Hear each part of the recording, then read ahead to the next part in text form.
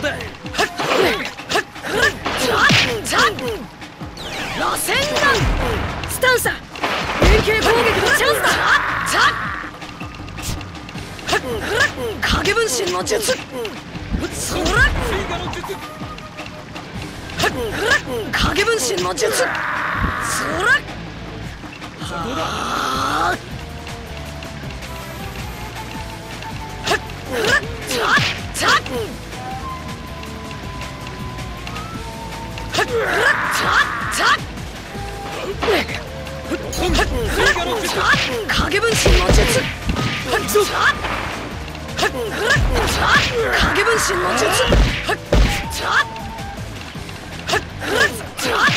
影分身の術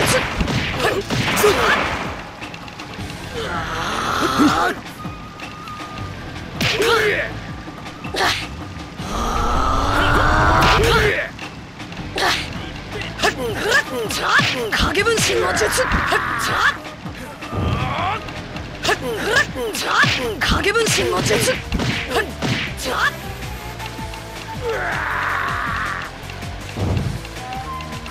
どうだ？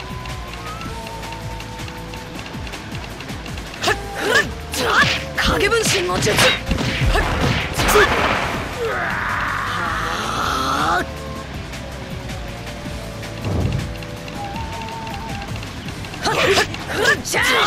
影分身の術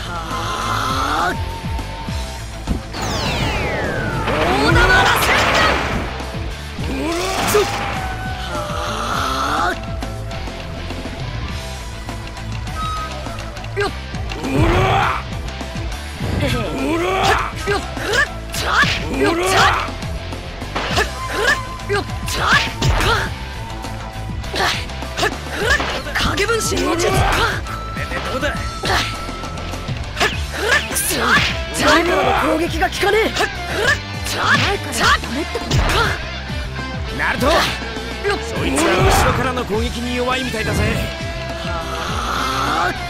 これでどうだ？ほらよ影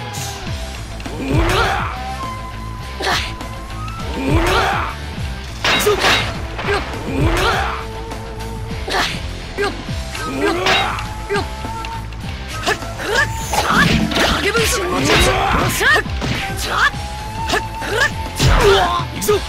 が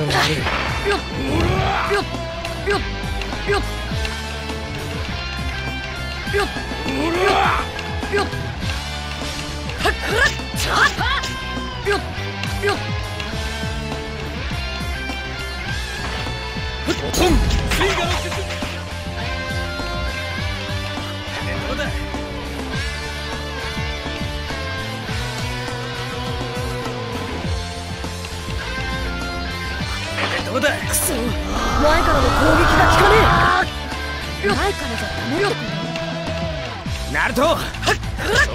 後ろからの攻撃に弱いみたいだぜ。螺旋弾よっ。よっ。よっ。よっ。よっ。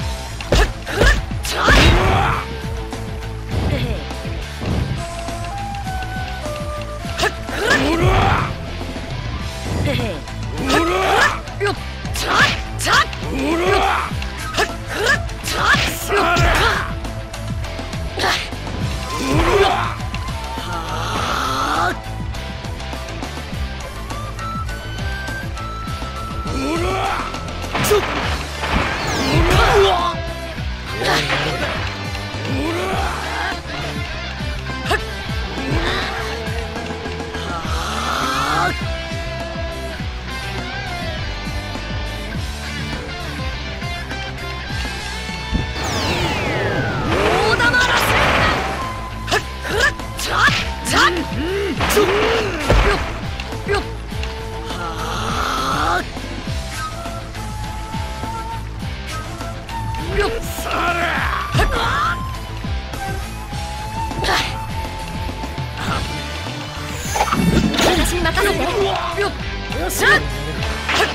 前からの攻撃が効かねえ。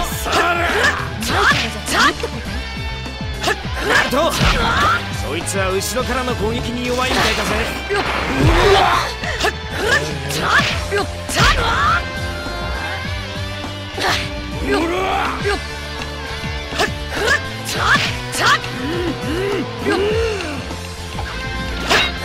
影分身の術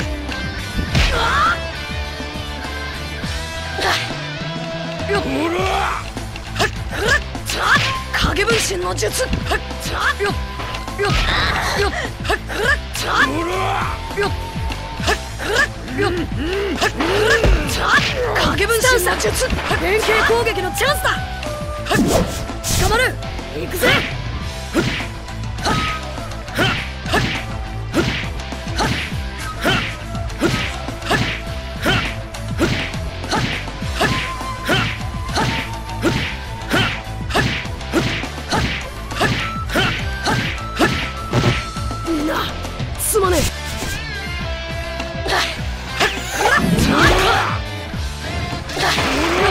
ここは谷だ。えよっ奴を壁に叩きつけることもできるぞ。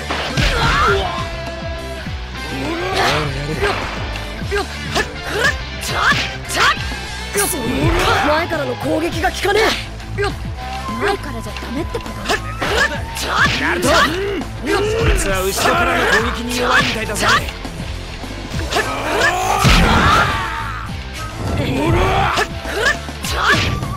よっよっ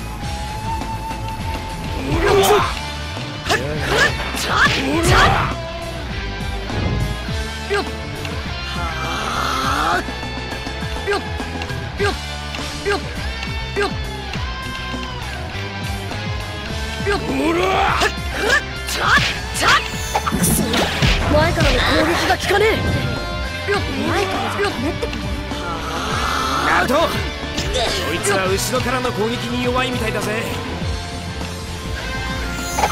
私に任せて。よよっしゃ影分身よっ。よ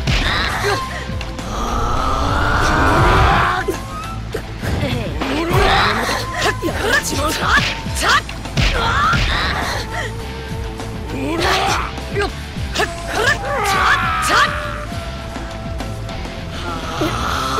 ってばよ。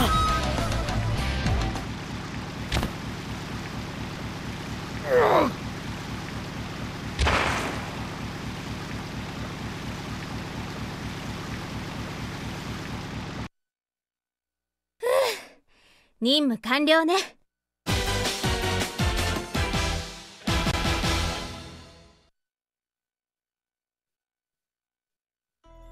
こいつらが誘拐犯なのか？そいつは違うな。こんな奴らにうちの中人が捕まるはずはねえ。旅人から物を奪っている単なる盗賊のようだ。誘拐犯は別グループと見て間違いないだろそんじゃあ無駄したったってことか？いや手がかりはあったぜ。誘拐犯の痕跡だと思われるものを発見した。痕跡？足跡だ現場にあった足跡はギザギザの形をしていた。あの特徴的な形はおそらく湿地や沼地を歩くために改良されたものだ。それに足跡の中にあった苔。こいつはこの辺りに生殖するもんじゃない。この苔を分析班に渡せば何かわかるかもしれねえ。それなら手は打ってある。すでにパックンを走らせた。分析結果も時期にわかるだろう。さすが加賀先生。最近入院してばっかだからボケーっとしてんじゃないかって心配してたんだぜ。俺そんな風に思われてたの。ほらナルトカカシ先生がボケっとしてるのは入院したせいじゃなくて元からよ。元から。おいさくらそりゃフォローになってねえぜ。俺の威厳が。カカシ先生も大変っすね。まいずれにせよ任務は終了だ里に帰るぞ。でもいいんですか？この人たち。ああ回収部隊を要請した。何せ数が多いからね。あれは木の葉の人中力奴は元帥様の手によって葬られたはず。なのになぜ生きている？まさか元帥様は無駄死にだったというのか。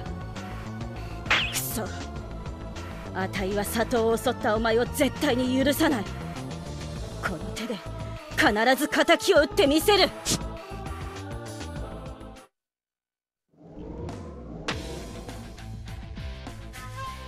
バカなキュービの化け物は元帥が討ち取ったはず。なのに生きていたというのか。はい。キュービだけでなくシャリンガンのカカシの姿も。ええこの葉はこの上まだ夢隠れを襲う気か。ならばこちらにも考えがある。まさか三つ頭を？もしもの時は三つ頭の封印を解き放ちこの葉を殲滅する。それがどれほど危険なことか父さんなら分かってるはず。木の葉だけでなく近隣諸国まで火の海になってしまう。何の罪もない人たちまで巻き添えにすることに。なのに三つ頭は里の守り神。わしだって他国を襲わせるような真似はしたくない。だが夢隠れを収める長として最悪のシナリオも考えておかねばならんのだ。父さん。それが天路に生まれた宿命なの。分かってくれ。